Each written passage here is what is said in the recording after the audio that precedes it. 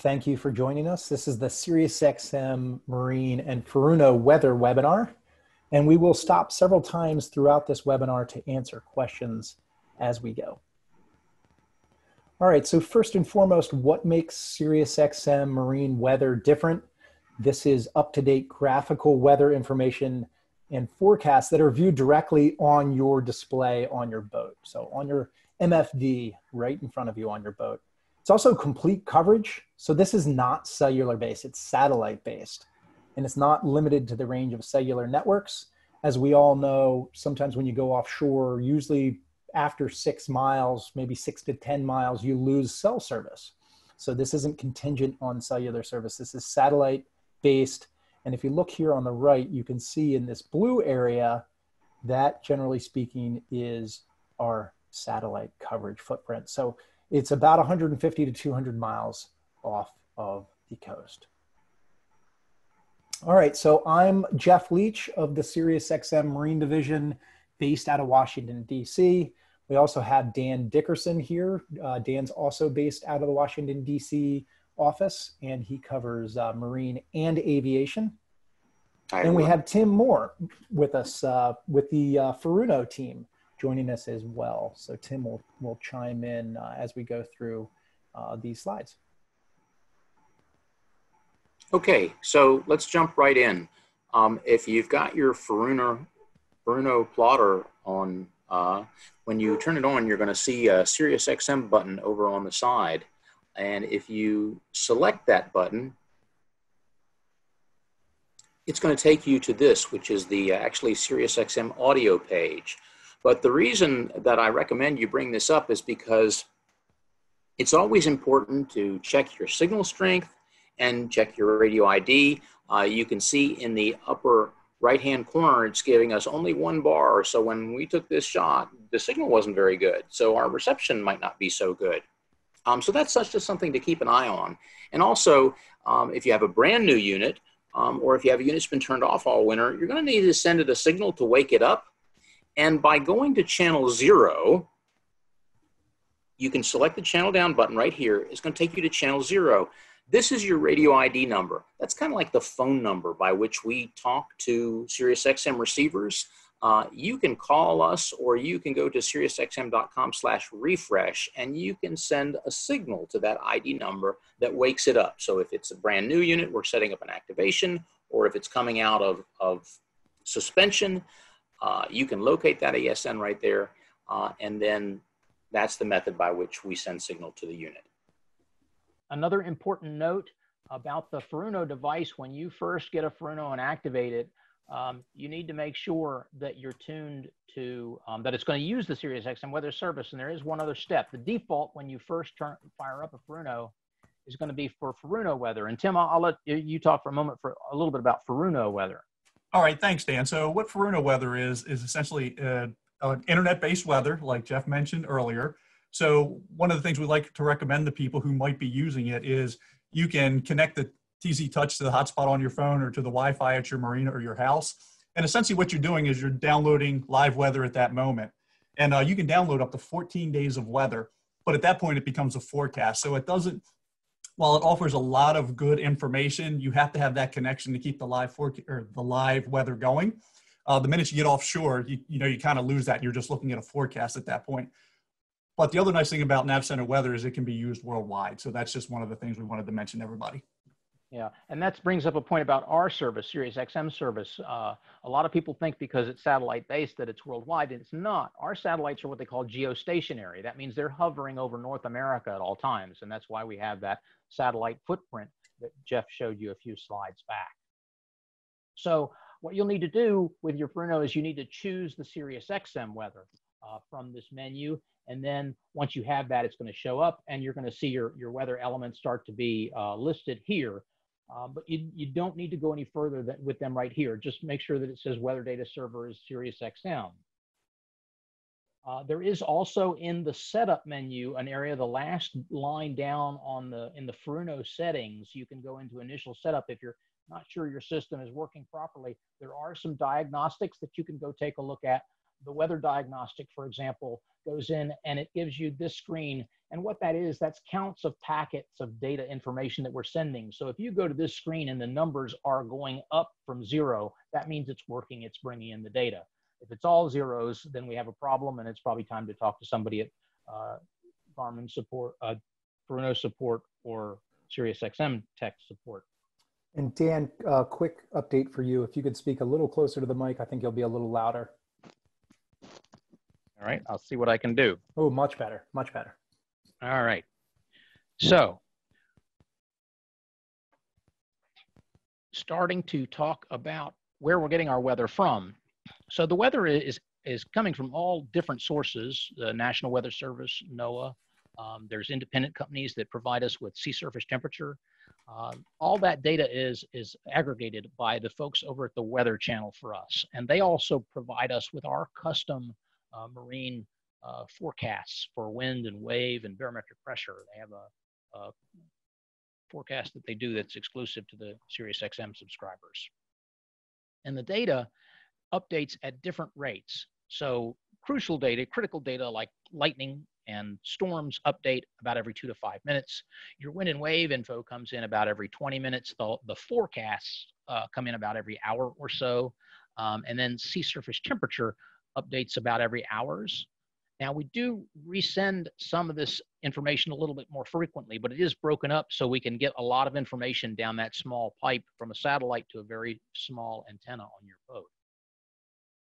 Uh, when you first turn the unit on though, you should see weather uh, information start to appear within five to 10 minutes and then over the course of the next hour or so, everything else will finish populating. So once you've got set up, you know you're getting data. It's it's it's uh, you're activated.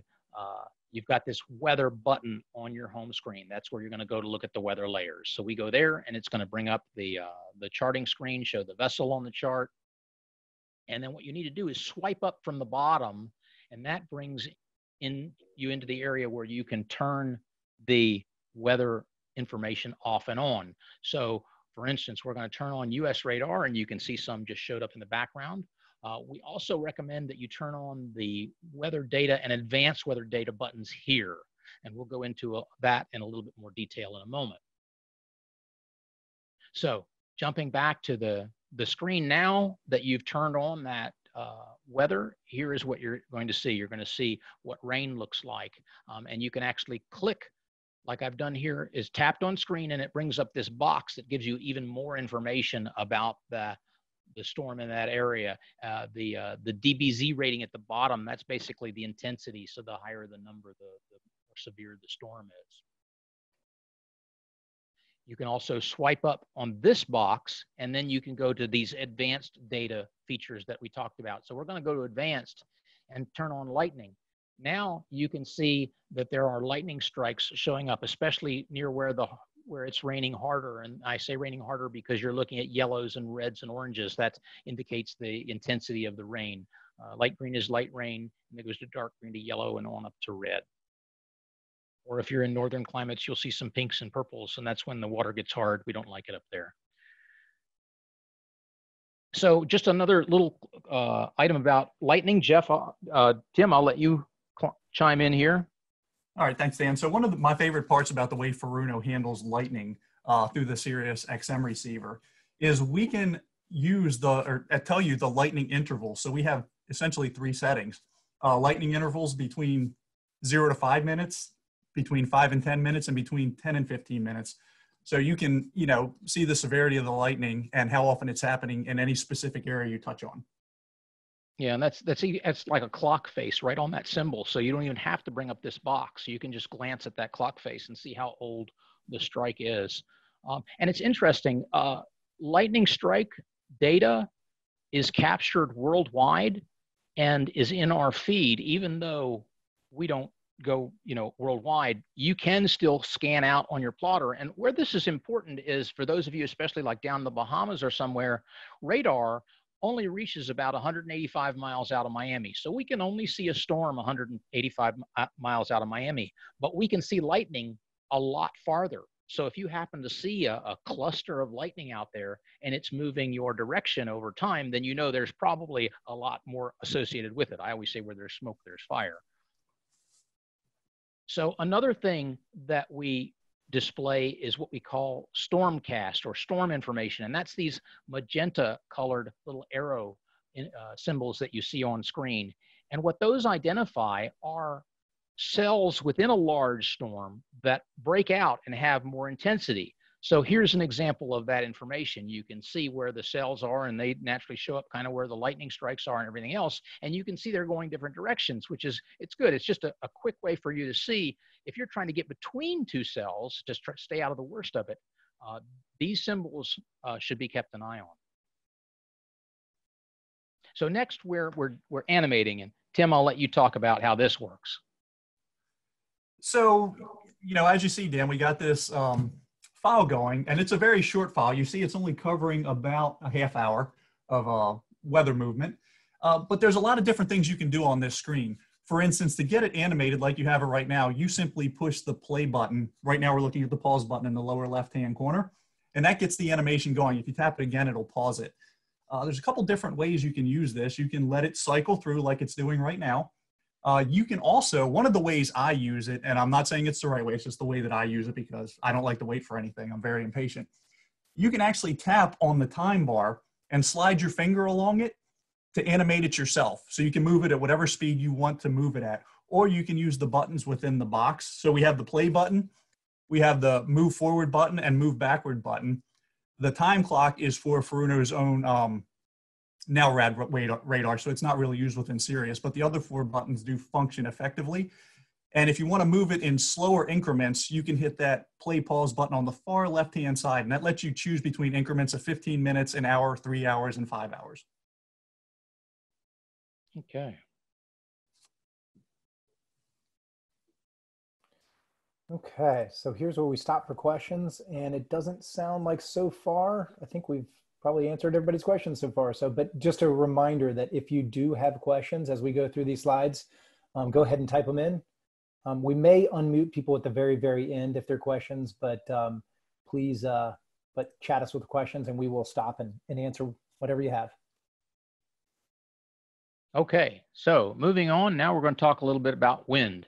And again, to get your wind to show up, you, you drag, slide this box up, box up so you're looking at the weather data and we're going to tap on the weather data button and then we're going to turn the wind information on. So this is what wind is going to look like on your screen. And there's uh, uh, different symbols and different colors. Um, typically, uh, the uh, we call refer to this as a wind barb, um, and it points into the wind. So here's an example of 15 knots out of the east southeast. The arrow is pointing to that. Looks like an upside down letter F. Um, it's got a, a, a, long tit on the end and then a short one underneath over top of it in this case since it's upside down. Um, and that's indicating the speed. And then the long shafted part gives you the direction of the wind. So here's an example of 20 knots out of the south. And then over here we have uh, five to nine knots out of the west. And I mentioned five to nine uh, Tim, I'll let you elaborate on that a little bit. Something exclusive to Furuno.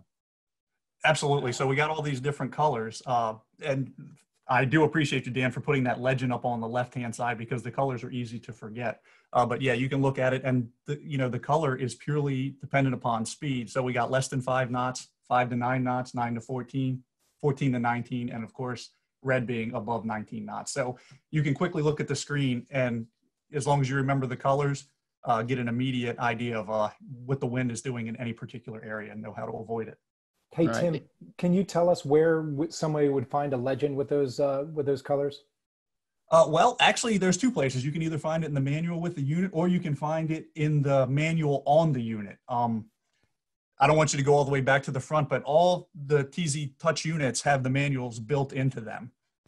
So that's really the quickest and easiest way to find it. Got it. And if anybody on this call wants to learn more about that, just chat us. And at the end of this uh, presentation, we can go Absolutely. back and, and, talk about that. Yeah. You, the, talking about the color change, it, it, right where the boat position is, is, is a good indicator. You can see it's a light blue and there's a dot. That means the winds are light and variable. So virtually no wind. And then they're at five knots. And then the dark blue is at a 10. And then there's a purple at a at the with that same barb. So it's it, you, you can you know differentiate between zero and five and and and ten very easily. So next we talk about wave. We've gone back to our box and we turn on in the uh, weather data box, we turn on the wave information. So what we're seeing on screen now is the color of the water represents the wave height. And you can actually tap anywhere on screen and bring up the information. Uh, so we can see here the wave height is, is 7.6 foot at this yellowish area right here. You'll also notice that buoys uh, popped up on screen when I uh, flipped to the screen. And, and I did that because I always like to use buoys as a point of reference. And actually, um, what you can do is you can go into your advanced weather data menu and you can turn the buoy information on.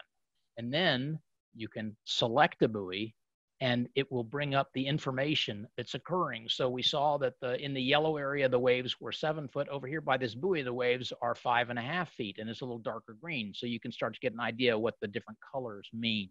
Uh, the colors are also uh, shown in the manual. So if, if you want to learn more about what the colors mean, you can go to the manual.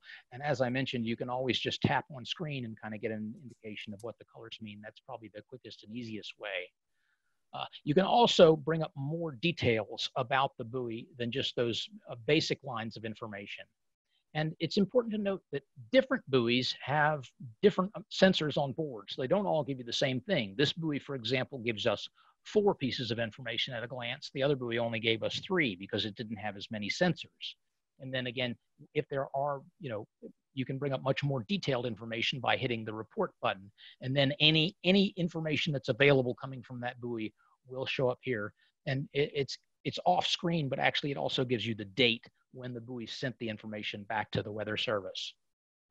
Uh, and if you look at the arrows over on the left-hand side, buoys aren't always out in the water. Uh, this information is also covers uh, weather stations on land, C-MAN stations, for example, and typically airports, you see the airplane symbols also give us weather information uh, that you can bring up on screen. So it's just a matter of clicking on any one of those symbols. So next we go back to our weather data box and we select uh, sea surface temperature. So now uh, the color of the water no longer represents the wave height, it represents temperature. And Tim, I'll let you explain how the, the temperature settings work. Okay.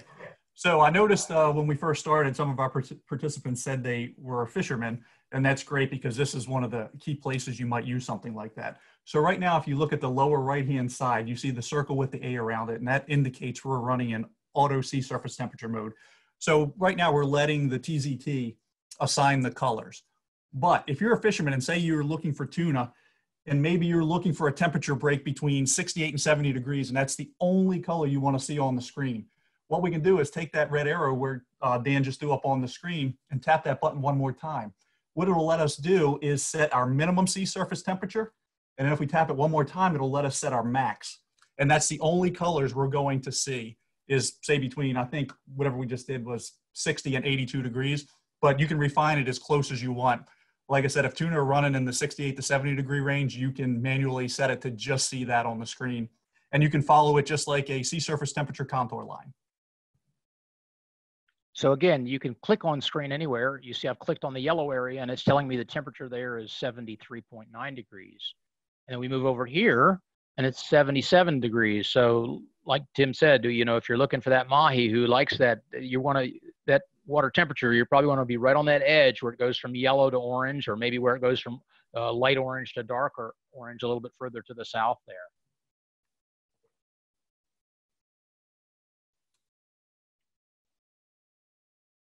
All right, we do have a couple questions.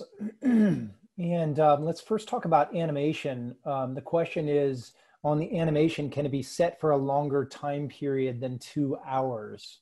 Absolutely. Um, the, the GIF we were running on the screen was only downloaded for a short period of time. And that's why we were limited in the animation of how far it could run. Okay.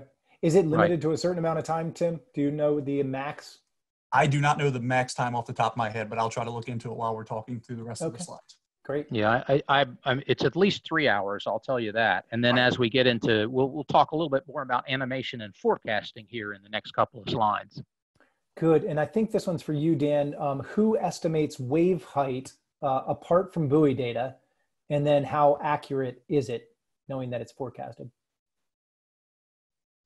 Well, tough one to I, tough one to answer as far as accuracy is concerned. This is the folks at the Weather Channel are the ones that this is their forecast for wave height. That when you're looking at that color out there, so that's a that's a custom forecast done done for us by the folks at the Weather Channel using the tools from NOAA and National Weather and also the buoy data. Uh, they do take the actual data coming from the buoys into account when they're when they're providing their forecast. Okay, and I think uh, that was it for questions. Keep them coming, folks. Good questions. Okay, so next we're going to talk about barometric pressure. That's another one of the features you'll find under the weather data. So with that one turned on, you're going to see the barometric pressure information showing up. Uh, we're going to show you, as you can see in this picture, off to the left, there's a, a low pressure area, and we're seeing the, uh, the pressure shown in millibars. Uh, you can set it to show millibars or inches of mercury. Uh, that's a, a, main system setting in, in the Furuno. Um, and then uh, weather fronts, you can see warm fronts, a trough uh, is going to show up, or stationary front. Um, all that information is available. So here we've gone to layering the information. So you're seeing wave height, you're seeing your barometric pressure, you're seeing your fronts, uh, and you're seeing your wind information. And again, this is something that can be animated. So Tim, I'll let you talk again about the animation here. Okay, so as you see, right now we have a lot going on on the screen, and let's assume we have storms and other things on this screen as well the cool thing about animation is, as Dan was showing you, where you can pick advanced weather data and just weather data. If there's too much information for you on the screen and it's not a clear enough picture for you, you can just tap on those boxes and choose what you want to see on the screen. You can take the wind away, you can take the sea surface temperature away, and just animate the things you want to see so it's not overcrowded. This screen we're currently looking at right now is, to me, the perfect screen because it has just the right amount of information. It tells me everything that's happening around the boat but the screen offers so many options for what you can see. If it's too much, take some away. If it's not enough for what you're looking for, just add a little bit more. All the information is always there right at your fingertips. Right. And again, this is forecast information. So this is right. looking ahead. Before we were looking at the rain, which was was a historical information. Um, and the, the Furuno can play all of them through. So it'll play, it can play you the historical rain and then shift over to the forecast. Uh, the other thing is, is as far as timing on this screen, uh, our forecasts, uh, there's two types of forecasts. If you have our coastal package, you get current conditions, current forecast, and you get uh, a forecast three hours out. So this loop, once it went past the three hour mark, everything would just go blank. If you're subscribed to our offshore package, then you will receive forecast up to 48 hours out. So you'll be able to see up to two days ahead what's going on in the weather window. So next, we're going to talk about city information. This is another just a, a, nice piece of weather information that you can bring up. With this turned on, you'll see there are symbols on screen. It looks like a little skyscraper. And you can click on one of these symbols and it will give you specific weather information about what's happening at that location or uh, bring up a forecast, uh, like a seven day, you know, cloudy, sunny, and so forth and so on uh, for that particular city. We also do show tropical storm information on screen. So with the, the storm tracks feature turned on, you're going to see where a, a, tropical storm first originates when they first uh, assign it as a, as a name it, so to speak. And then they're also going to uh, show you the track. So you can see here, we're looking at, uh, this was where it was uh, first put on the chart on June the 1st. And then the forecast for uh, where it was going to be six days later. Uh, so that's the storm track feature.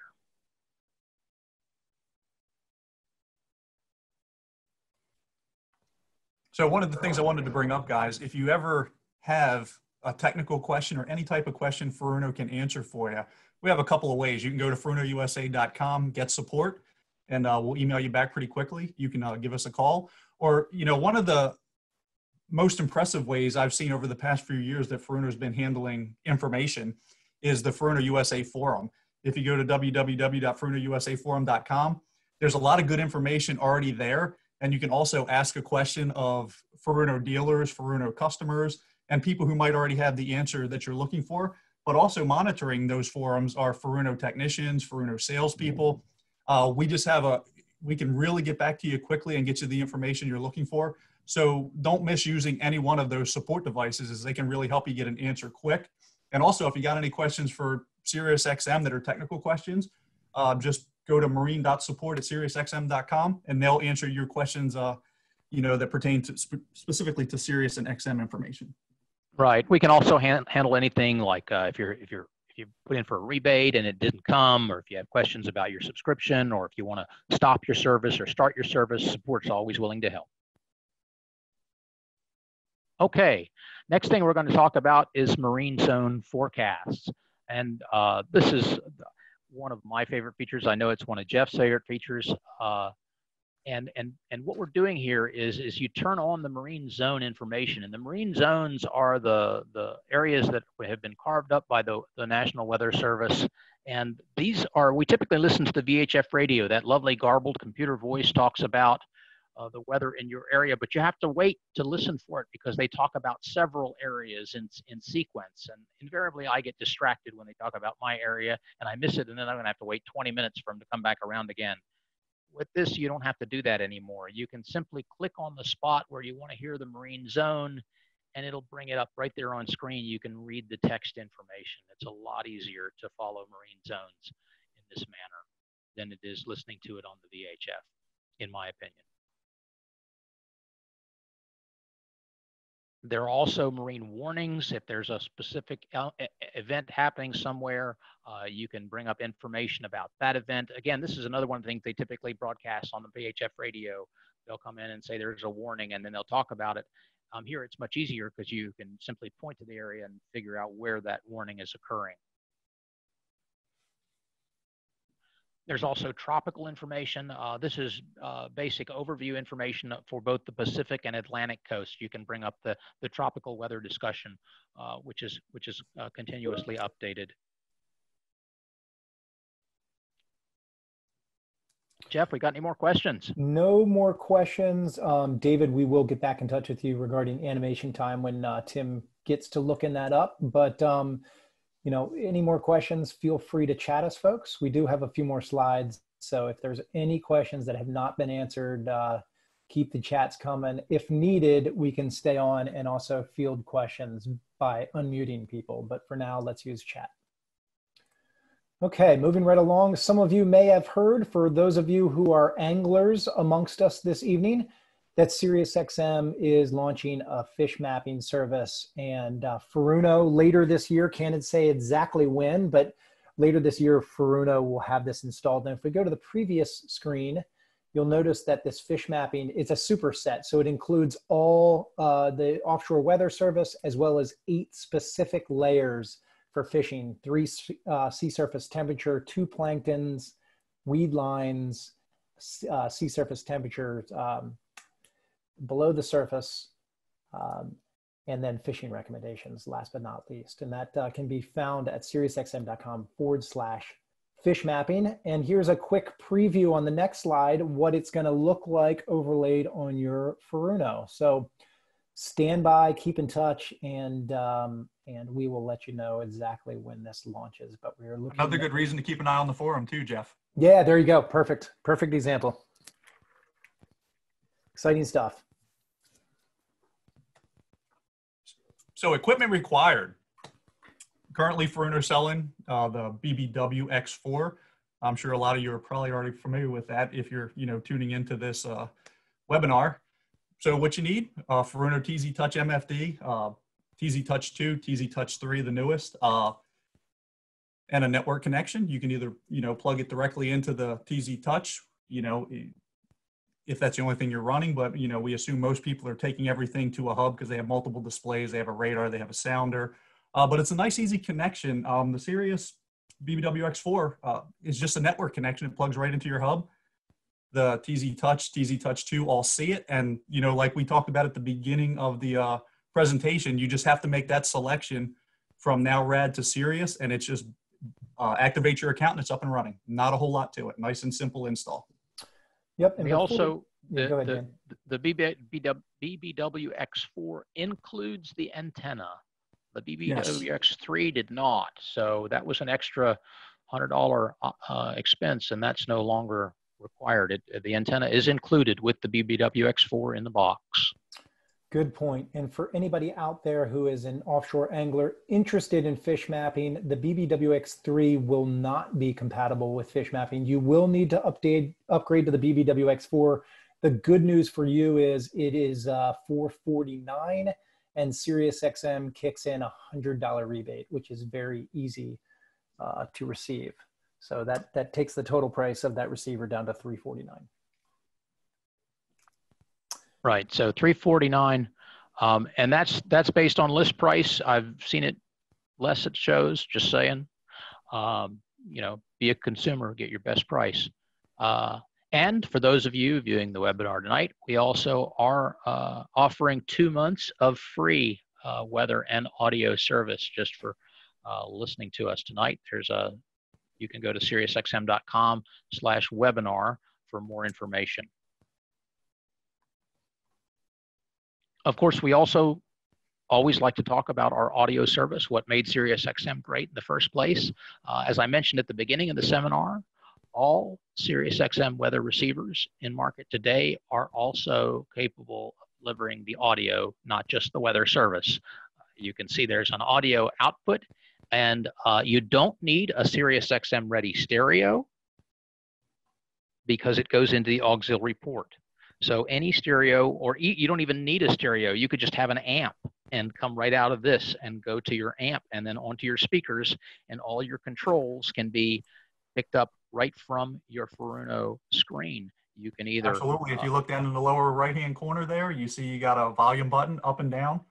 Um, and as Dan's about to point out, you know we have two different ways of looking at the the SiriusXM screens. You can have it minimized at the bottom of your screen, shows you all the information you need but anytime you want to get to that big screen he's showing on the left, you just tap on the SiriusXM button in the lower left-hand corner. It brings you up to a full screen, and Dan will tell you what happens there.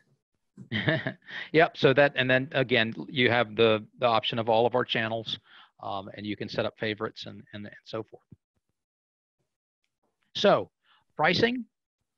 Jeff, I think you were going to talk about pricing. Yeah, sure. Yeah, just a quick uh, pricing. Uh, so the coastal package, by the way, that this is the package that has the two month trial. It's it's thirty four ninety nine a month. The offshore package uh, is fifty nine ninety nine a month. And when fish mapping comes out, remember it's a superset, so it includes all of offshore weather plus those eight dedicated fish mapping features, and that's ninety nine a month. So stay tuned for that. Um, if you do pair your uh, entertainment or your radio together with your weather under the same uh, subscription, you get a discount. So your select radio would be $11.99 a month, and then all access would be $16.99 a month. And roughly that's a $5 a month uh, saving. And then, of course, for those of you who put your boat up on the hard for a portion of the season, or maybe you're getting work done, or frankly, maybe you're just not even using your boat for a period of time during the year, there's no sense in paying for your subscription if you're not using it. We recommend that you do a seasonal suspend, and it is as simple as calling in and letting uh, the call agent know exactly when you want your service suspended, and then of course when you want it woken back up. In, at which time we will send a signal and, and uh, wake it up with a refresh signal. So that can be done for up to six months, and much better to do this than to deactivate because you don't have to go through the whole reactivation process. And of course, you don't have to pay the reactivation fee. Also, keep in mind when you're seasonally suspending, there is absolutely no cost to you at that time. So everything literally just suspends until you're ready to wake it back up. All right, as far as getting started, for those of you who are not activated right now, fairly easy. First of all, you have to confirm uh, and, and buy the compatible hardware, the BBWX4 in this case choose your subscription package that we just reviewed, and then visit SiriusXM.com forward slash Marine Activate or call this 855 number. Um, we recommend that you call this number. So if you are not a subscriber now, I would suggest jotting this down or going to our website if you call the SiriusXM main number, you could be speaking to somebody internationally that is not very familiar with our marine and aviation division. So this specific number will get you to a call center person in the marine and aviation divi division. Or if you don't make it to the call center, uh, simply ask to be transferred. Tell them you're, you're calling about a subscription for a boat and they can transfer you to the marine team. There you go. All right, some helpful resources for you. SiriusXM.com forward slash marine. Or we have a video library. We will be posting this webinar there. We do have other videos there, and that's SiriusXM.com forward slash marine library. And then last but not least, our YouTube channel. And that's youtube.siriusxmmarine.com. Dan and I are creating and posting videos there on a regular basis. And then we'd love for you to follow us on social media, facebook.com forward slash SiriusXM Marine or our Instagram page, which is at SiriusXM underscore Marine. And then uh, last but not least, just as a refresher, uh, if there's any questions, go ahead and chat those now. But we did want to leave you guys with the support information. Again, if you have any questions about SiriusXM Marine, it's marine.support at SiriusXM.com. And of course, if you have any Furuno questions, FurunoUSA.com, get support, forward slash get support. Um, also, as Tim mentioned previously, join the Furuno forum, FurunoUSAforum.com. All right, we will stick around for just another minute or two. Um, if anybody has any questions, feel free to chat them to us now. And uh, again, thank you all for joining us. Hopefully we uh, were thorough enough to get through this and didn't rush too fast.